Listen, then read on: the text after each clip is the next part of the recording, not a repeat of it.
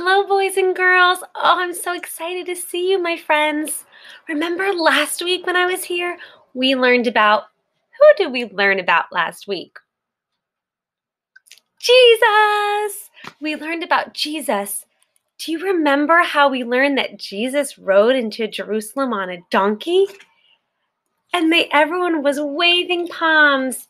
What were they saying? Hosanna, praise Jesus. Hosanna. Good job. Last week we learned about Palm Sunday. But what holiday is coming up this week? Do you know? Yell it out. Easter! Wow, and Easter is all about Jesus.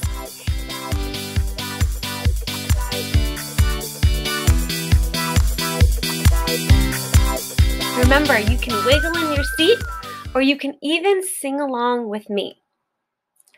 Here we go. There, we're going to sing it twice.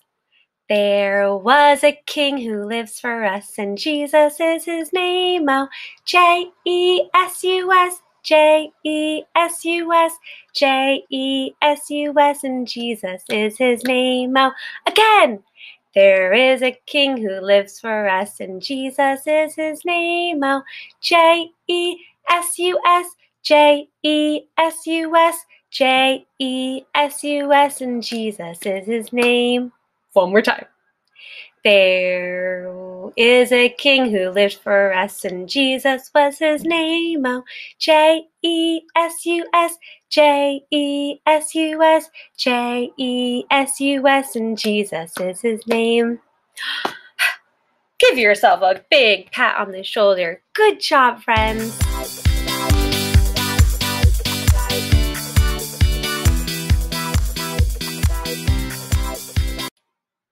Let's get ready for the story.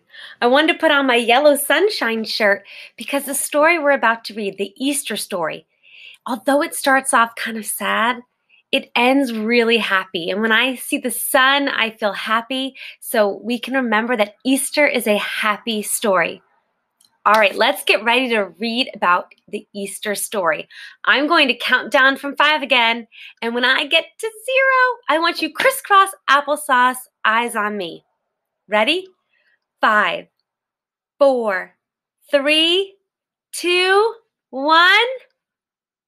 Ready.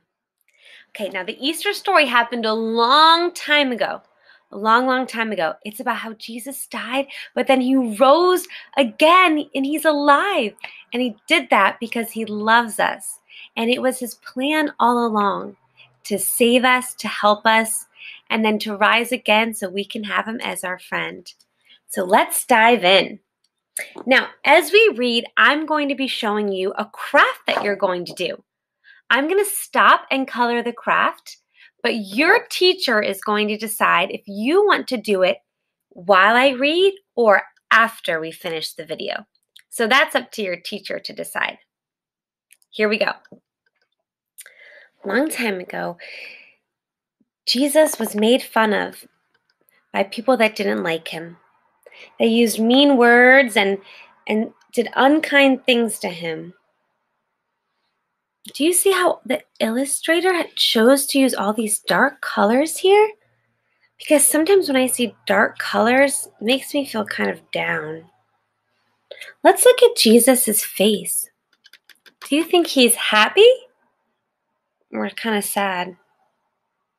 Can you show me a sad face? This is not nice what they're doing, is it? Let's keep going.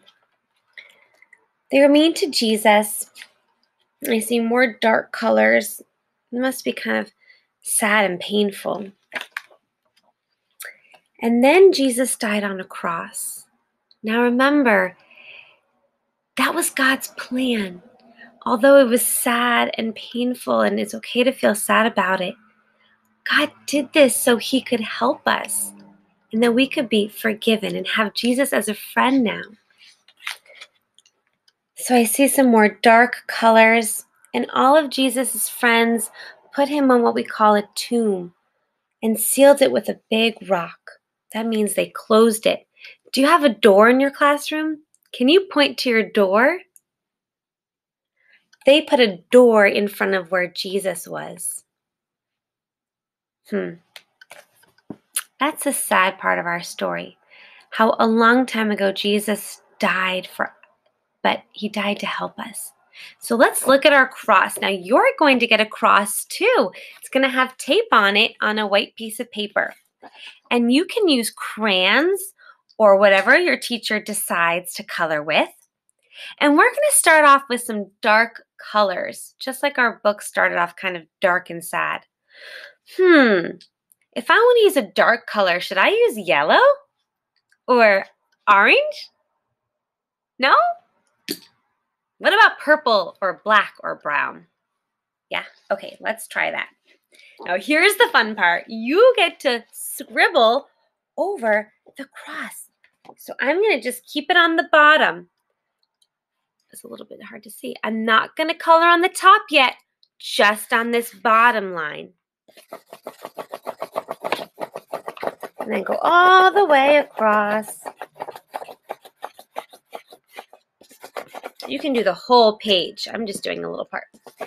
And all the way down to the bottom. And I use my dark colors.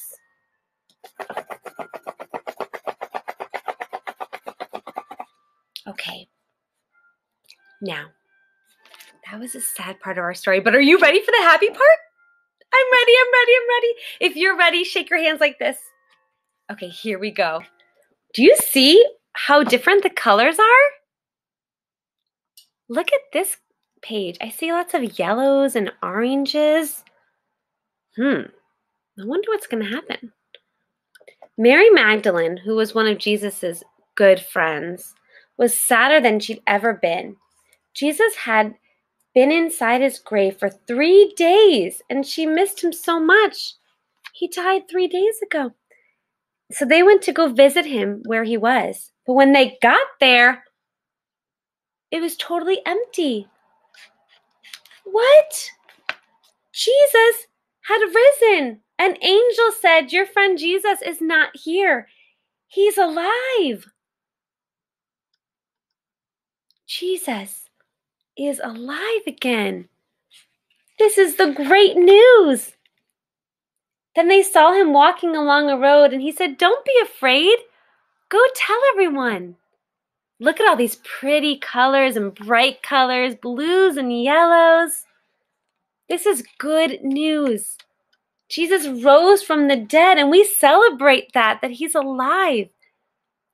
And everyone shouted, celebrating, Christ is risen. Alleluia. Can you say that with me? Watch me first. Alleluia. Your turn. Alleluia. Alleluia. Christ is risen. That is the happy part of the Easter story. So, that God, should we finish coloring our cross? Wait a minute. Do you think I should use more dark colors? The end is a really happy story about Jesus rising from the grave. So, what if I use yellow? That's a bright color, like my shirt. Maybe a pink, maybe some orange. Okay, let's do it. And there comes the fun part. This scribble, scribble, scribble.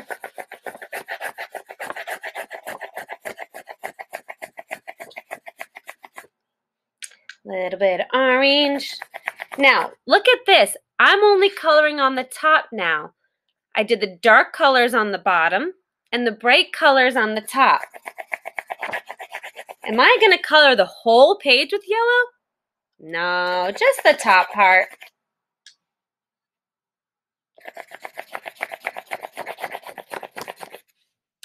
Okay, I have my colors ready.